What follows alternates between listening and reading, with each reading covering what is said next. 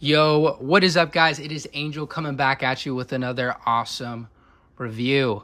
Today, we got something I'm pretty pumped about because initially I did not get the original SH Monster Arts Godzilla Minus One or the regular colored version. I missed out on that one. Did not want to pay those crazy aftermarket prices. The figure itself is already an expensive figure, and I was not trying to pay $300 for that freaking thing. I hope they re release it, which I highly doubt they will. But for now, I have here the SH Monster Arts Godzilla minus one minus color version. Have to say, initial reaction is I love this box. It's just gigantic. I know that goes for all the SH Monster Arts figures. And I have to say, I'm very impressed with the company that I ordered this guy from. It literally got here in like two days from Japan. So, really cool. Um, looking at the box here, we got the front here, really nice looking design. And then we got the back of the box here.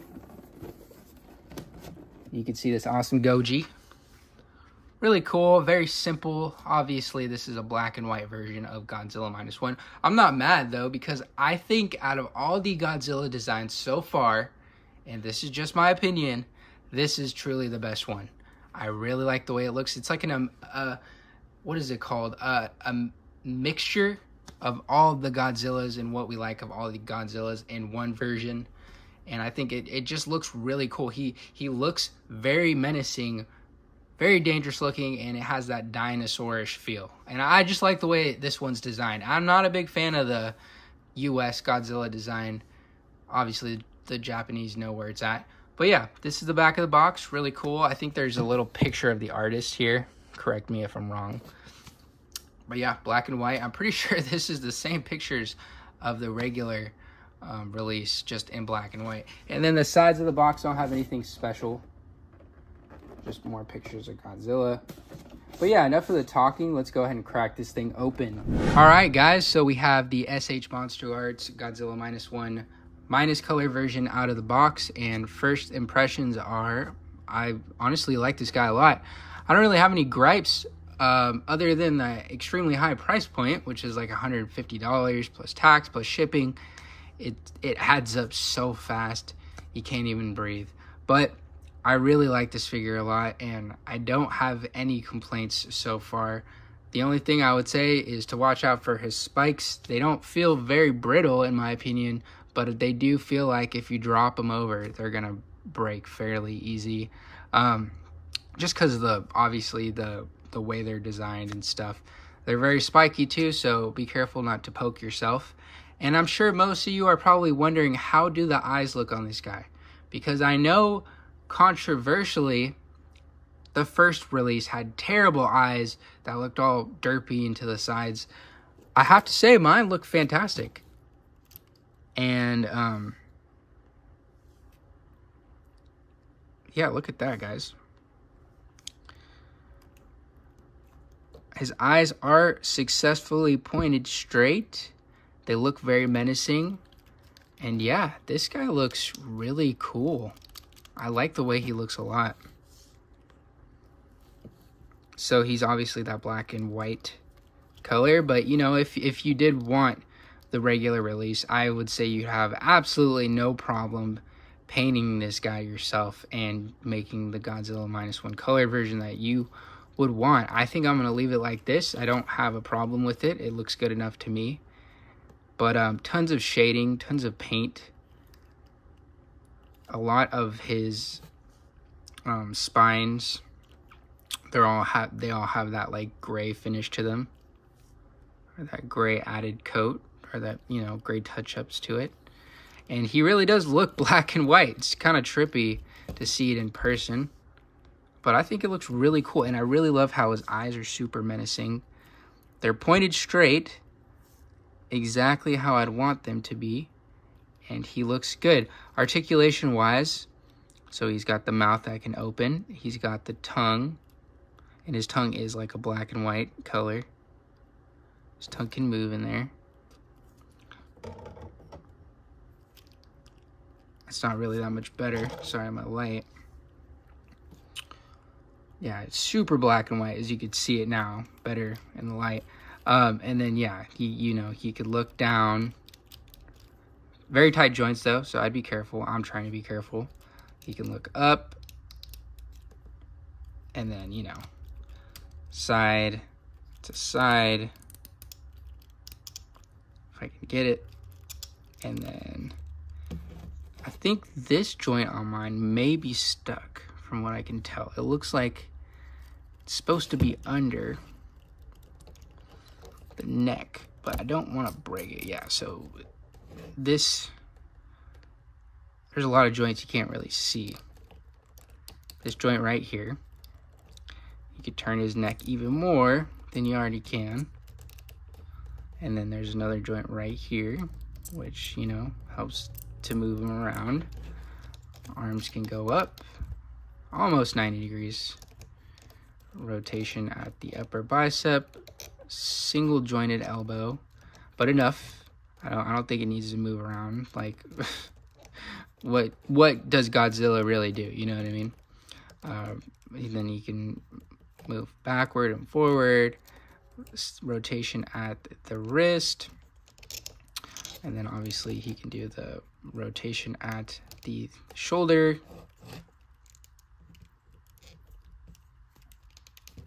And then, um, see how far he reaches across. Not the farthest, but it's cool. Like I said, I don't, I don't need my Godzilla to be an acrobat. Um, and then he can rotate at the upper torso or diaphragm but I would watch out for his spikes on the back bumping into each other. Um, and then rotation at the lower waist. Legs go that far apart.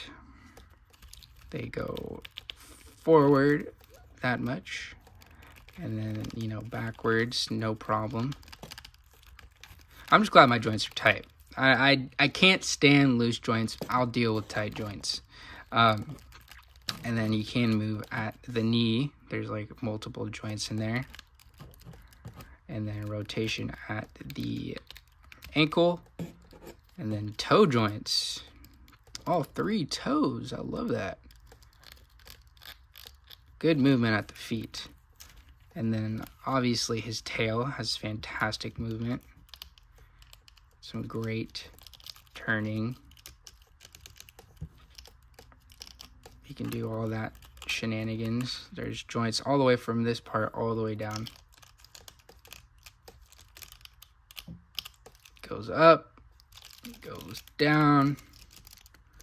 But you know, I would just take my time. I, I don't want to break anything. So just take your time. Try not to break anything. I, I can't tell if this is how it's supposed to be for this joint right here or if something broke off. Let me know in the comments down below. I'm going to check the box later.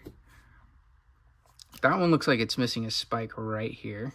I hope not. If it is, I'm going to have to uh, see if I can get a replacement. If it's not, then it just feels, you know, because they're all spiky except for this one. But I could be tripping. I could be tripping. Regardless, I like the way this guy feels in hand for mine at least, it doesn't seem like he has any eye problems, which I know a lot of people were are very worried about. Uh, but let's go ahead and get a size comparison. I don't have any SH Monster Arts. This is like my first SH Monster Arts in a very long time. I sold all my old ones off.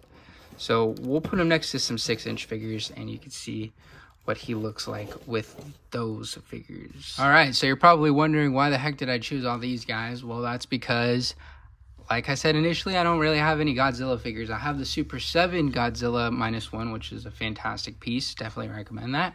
He's so big, I can't fit him in this area though. So this is what we're working with. Punisher from the Marvel Legends 2 pack to the right. The Ultimate Guyver Figma. The Dhalsim from Jada Toys. And the Mezco the Mask to the left. So yeah, I think he sizes up well, right? He's six inch figure. He's definitely standing at six inches tall. He's almost as tall as Punisher. So yeah, six inch wise, fantastic. All right, guys. So yeah, at the end of the day, I think this is a definite pickup. If you are wanting, obviously, a minus color version of Godzilla minus one, or if you missed the last release.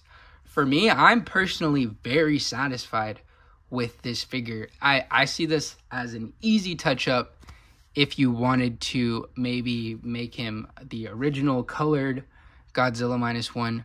But not only that, I just think it's still pretty satisfying. This is a great looking figure. Feels good in hand. Does it feel like the $150 figure that it costs? I don't know about that one. I don't know about that one. I'll leave that up to you, all you Godzilla professionals, for that critique. I, I don't know. I'm iffy about it. Uh, regardless, though, I like the figure. I don't have any QC problems on mine. All the joints feel stiff, well. Um, he has painted, straightforward eyes. They look menacing. They look a lot better in person than on camera. Yeah, he looks fantastic. He looks exactly how he was promoted. Um, and I love that because I always, at this point, you don't know what to expect from a figure until you have it in hand. And I think they definitely met my expectations. I'm not going to say they exceeded them because there's nothing phenomenal about it, but for what I wanted, I'm happy with it. Uh, all in all, I'll give this guy a solid 8.6 out of 10. Fantastic figure. The only downfall is the price. I know, like I said, uh, uh, I'm iffy about it and I'm leaving it up to you, but that's my opinion. It's expensive. Uh, it come with any accessories? Um, but he's still a lot of fun. Still a great looking figure, and it poses up very well for being such a big, beefy boy. Uh, anyways, let me know what you guys think in the comments down below. Let me know if you're picking this one up, if you're passing. I recommend it, but that price really stinks. Um, and I'm happy, even though it's expensive. So, yeah, yeah. I know it sounds like I'm bipolar, but you know, that's the hard part about critiquing figures. You got to be honest, and that's my honest opinion.